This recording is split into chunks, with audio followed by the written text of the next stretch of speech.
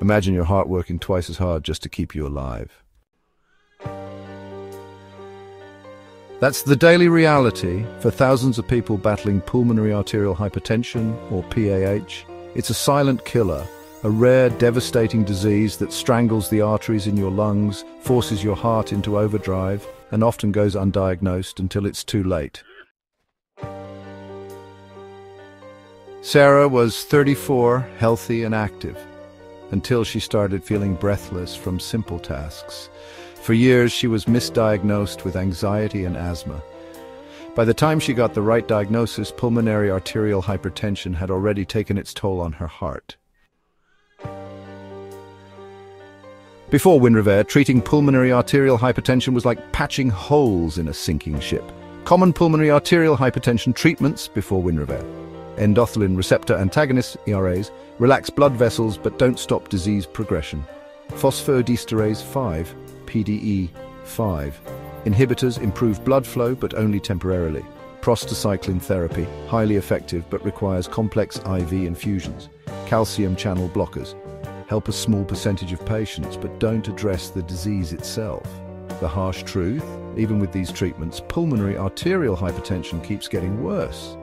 Patients still experience worsening symptoms, hospitalizations and early death. What if instead of just easing symptoms, a drug could actually stop the disease in its tracks?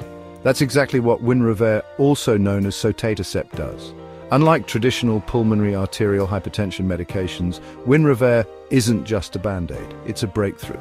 It targets the biological pathway that drives pulmonary arterial hypertension, slows disease progression instead of just managing symptoms, boosts exercise capacity and reduces hospitalizations, offers a convenient injection every three weeks, no complicated IV infusions, is well tolerated with manageable side effects and has potential future use in other vascular diseases. How does it work?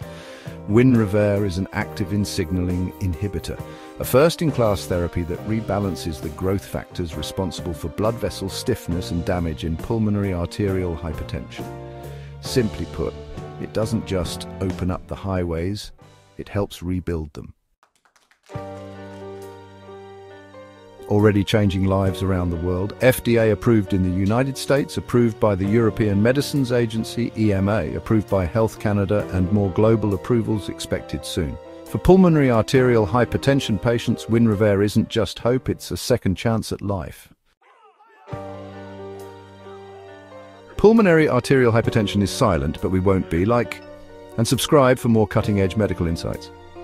Share this video to raise awareness about pulmonary arterial hypertension and its life-saving treatment. Comment below if you or a loved one has been affected. Let's build a community of support and hope. Knowledge saves lives. Let's spread it.